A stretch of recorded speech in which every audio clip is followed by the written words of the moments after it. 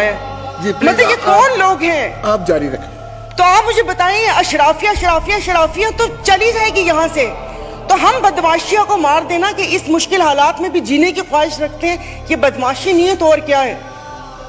इज़्ज़त नीलाम हो अभी तो पहले किसी ने मुझे कहा कि आगे क्या होगा। बच्चे तो बिकते थे। इज्जतें भी नीलाम होती थी। आई एम सॉरी भले आप एक्सपेंस कर दीजिएगा अल्फाज। पहले ढके छुपे होती थे, अब खुलेआम होंगी। और मैं इज़्ज़त नहीं बोलूँगी। जिस जिस्म फरोशी बोलूँगी।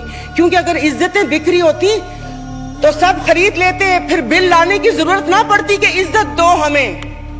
सब यहाँ पर बैठे हुए इज्जतें खरीद लेते, अगर इज़्ज़त बिक रही होती। तो आप मुझे बताएँ कि कोई लाए अमल दे दें कि अगले पाँच साल तक ये मुश्किल हालात बर्दाश्त कर लो, या दस साल तक बर्दाश्त कर लो तो फिर भी तसल्ली हो कि ठीक है मैं नहीं रही तो ठीक है, मेरे बच्चे उसमें रहेंगे। सर आपने तो बच्चों से जीने का हक छीन लिया इन लोगों ने। बीस हज़ार वाला क्या करेगा? और इंसाफ की आप बात करते, मैं तो अदालतों वाली इंसाफ या उस चीज़ की अभी वहाँ तक तो मैं गई नहीं। आप ये चीज़ों को देख लें। यानी कि मेरी अगर आमदन दस लाख रुपए महीना आता है, मैं भी वही मुर्गी खरीद रही हूँ, आठ सौ रुपए किलो, और मेरा ड्राइवर बच्चल जिसकी तीस हज़ार रुपये तनख्वाह है, वो भी आठ सौ खरीद रहा है। वो दूध दो सौ रुपए किलो मैं भी ले रही हूँ, दो सौ किलो वो भी ले रहे हैं। मैं घर में अब ग्रोसरी नहीं लाती। इसलिए कि मुझे शर्म आती है कि वो ड्राइवर बावर्ची उठाएगा तो उसके दिल में क्या होगा कि ये थैले भरे आ रहे हैं और उसके घर में खाने को है या नहीं है। दो दो किलो की चीज़ मंगवा लेती हूँ कि जाओ बेटा सामने से लेकर आ जाओ। तो आप मुझे बताएँ मतलब थोड़ा सा जीने का हक दे दे। खुदा पाक को जाके जवाब देना, यहाँ पर आप आयतें पढ़ाते आयतें पर्दा कर चुकी हैं। आयतें पर्दा कर चुकी हैं अभी ये कहते हैं वो तिकरी ना ये इनको शर्म नहीं आती?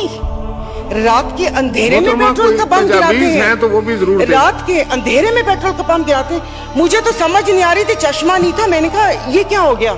शायद मैं रात को रोई हूँ अल्लाह पाक ने मेरी दुआ सुन ली पता चला वो पिछले थे। मैसेजेस ना जब वो यहाँ पर बैठा करते थे। अब सब कुछ जायज़ है सब कुछ हलाल है। यहाँ पर बहुत तुर्की हमारे भाई हैं। और शुक्र अलहमदिल्ला, शाम का नाम भी लिया। क्योंकि पहले एक हफ़्ता तो उस बेचारे का नाम ही नहीं था। फिर जब इंटरनेशनल मीडिया ने डालना शुरू किया तो हमने भी शाम बोलना शुरू कर दिया। वहाँ पर अल्लाह पाक उनकी मदद करेगा और वो रियासत माँ जैसी है, उनके हुक्मरान हमारे जैसे नहीं है। उनके लिए वो खड़े हैं। दबी हुए आवाम के लिए हम इजारे यकजहती के लिए बेचैन हो रहे हैं, लेकिन यहाँ पर जो मरी हुई फाकों से आवाम है, उसके लिए कोई दिल में दर्द नहीं है। तो अभी ये आइन की तकरीबात के लिए कितने पैसे वो हुए?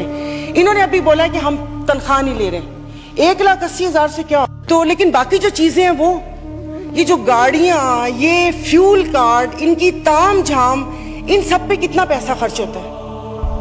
देखो, खुदा का खौफ कर ले, मेरे पास कोई अल्फाज नहीं है, ये सारा कुछ मैंने लिखा था, लेकिन ये बेफजूल है। मैं किसको इशारिये सुनाऊँगी? कि थर्टीन पॉइंट ये हुआ, मोडीज की रेटिंग ये है, वो ट्रांसपेरेंसी ने ये बोला, वो बोला।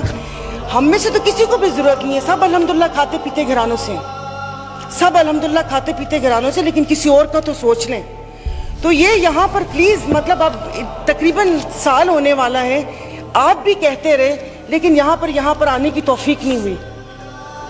मैं कुछ लोगों का, आप लोगों को दिलचस्पी होगी। आप यकीन नहीं करें, मुझे इस ऑडियो लीक से पीटीआई क्या कर रही है, क्या नहीं कर रही है, मुझे कोई दिलचस्पी नहीं है। सब जाए भाड़ में। लोग आवाम मर रही है, आप उसको देखिए। मेरे पास तो कोई ज़ाहिर है, वो इतने ना इशारिये हैं, ना मैंने मुआशियात इतनी पढ़ी हुई है। कॉलेज नहीं था? वो ऐसे ही वो कॉलेज था, साइंस कॉलेज नहीं था, आर्ट्स कॉलेज था, समझ भी नहीं आती थी। मुआशियात एग्ज़ाम था, तीस नंबर थे, तीन ग्रेस मार्क ग्रेस मार्क मिले थे। तैतीस नंबर है मुआशियात के। और एक ही याद है कि इंसान मौशी जानवर है। लेकिन घर का किचन चलाती हूँ, घरेलू औरत हूँ तो मुझे पता है कि ये सब आई एम सॉरी ये सब बकवास है ये जो बता रहे हैं। इससे ये होगा इससे वो होगा इससे ये होगा इससे वो होगा। जिस वक्त खाना बनाने या किचन में खड़े ना उस वक्त आटे दाल का भाव पता चलता है। शुक्रिया।